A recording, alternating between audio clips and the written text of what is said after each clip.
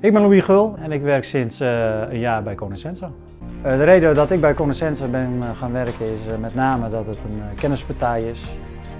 dat zij de ambitie hebben om personen aan zich te binden die net dat stapje extra willen maken. Ik denk als je voor jezelf een ambitieniveau hebt die verder gaat dan alleen het volgen van de standaard certificeringen, dan weet ik zeker dat je bij Conoscenza aan het goede adres bent.